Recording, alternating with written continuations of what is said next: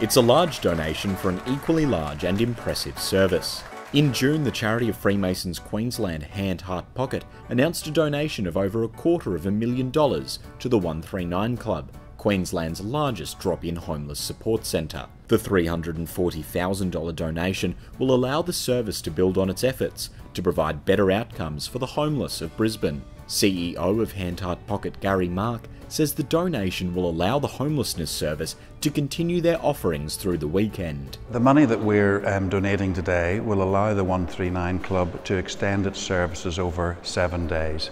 Currently they operate Monday to Friday. This will allow Saturday and Sunday opening.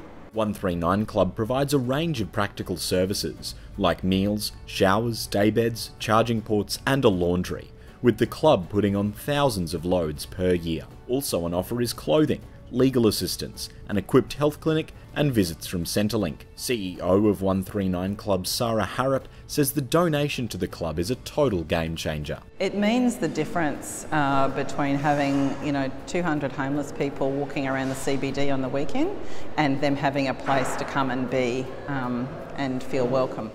Joanne, a frequent visitor to the club, is delighted with the donation. The service has helped her back onto her feet for many years and recently case managed one of her legal matters. I've just had a bit of a bit of a setback, but it got me visiting rights. The social workers and everything else were like a rock to me.